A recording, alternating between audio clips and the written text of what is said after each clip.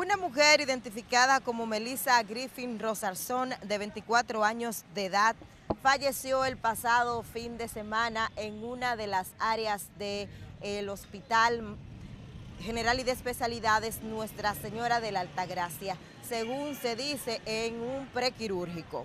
Esta llegó eh, con una herida en la cabeza desde Verón, y al llegar en esas condiciones fue ingresada inmediatamente al área de emergencia para suturarla.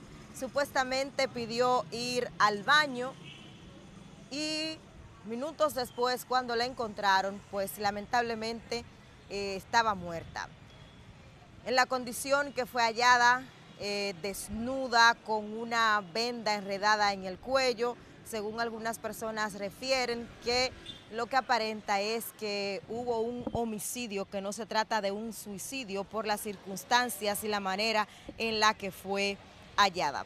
Según las informaciones que hemos recogido, las cámaras de seguridad de este centro hospitalario captaron el momento en que la fallecida subió al, tercer nivel y después de ahí pues eh, fue encontrada en el estado que ya describimos hace unos minutos. Sin embargo, la Fiscalía es quien está a cargo de las investigaciones porque hemos venido hasta Salud Pública, hasta el Centro de Salud, a buscar informaciones al respecto, pero nos dicen que ya eso está en manos de la Fiscalía y que ellos son los responsables de dar eh, los datos pertinentes. El cadáver de Griffin fue enviado al Instituto Nacional de Ciencias Forenses para establecer las causas reales de su muerte.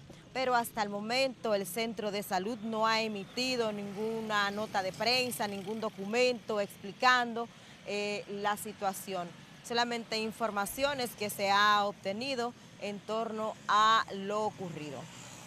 Con respecto a Griffin, eh, nos enteramos que es oriunda de San Pedro de Macorís y que se, era como bailarina en uno de los hoteles de la zona. Esa es la información que nosotros hemos podido recoger en torno a este caso. No hay nadie detenido para fines de investigación, pero las autoridades están dando seguimiento a este caso y están a la espera del informe del INASIF para poder dar detalles al respecto. Lo cierto es que Marisa Griffin Rosarzón, de 24 años de edad, fue encontrada muerta en un prequirúrgico del Hospital General y de Especialidades Nuestra Señora de la Altagracia el sábado en horas de la mañana y hasta el momento